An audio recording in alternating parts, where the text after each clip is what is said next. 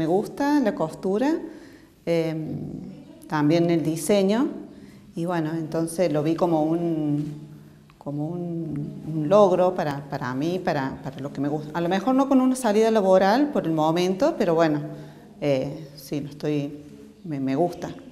Esto es, es, también está hecho también, también para una salida laboral, sí, sí.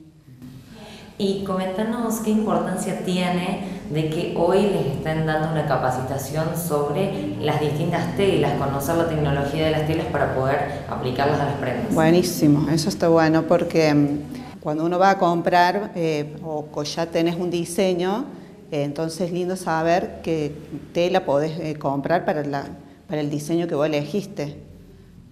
los materiales, cómo sea la composición de que están hechas las telas.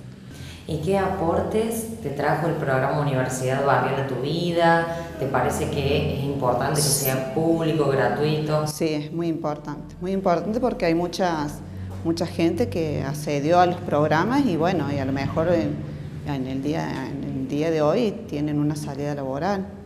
Sí, yo lo, lo veo, en mi caso, lo veo como, bueno, buenísimo porque yo ya aprendí lo que es eh, la moldería, el diseño, y ahora bueno, estamos en un nivel avanzado ya de costura. ¿Y qué viven en el día a día cuando vienen a cursar, además de tener eh, aprendizaje en esta materia, en contacto con las demás mujeres? Eh, bien, bien, se arman grupos, ¿viste? los vamos ayudando, estamos conectadas, ¿viste? Con la profe, Sí, sí, un grupo muy lindo. Yo coso, eh, pero no profesionalmente, tengo una fábrica de uniformes, pero siempre eh, me gusta ir eh, aprendiendo todo lo que, como si fuera básico, y bueno, y me vi por la Universidad Barrial que estaba este curso y me pareció muy interesante y eh, bueno, entonces decidí inscribirme y gracias a Dios pude entrar porque había un cupo.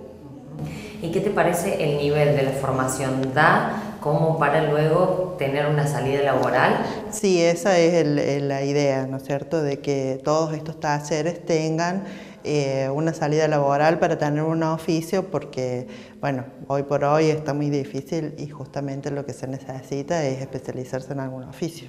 ¿Qué te parece específicamente este taller sobre textiles y las distintas telas?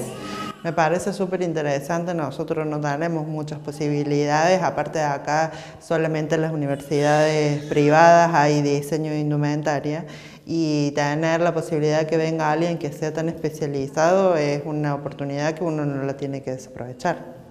¿Y que el taller sea público y gratuito también ayuda?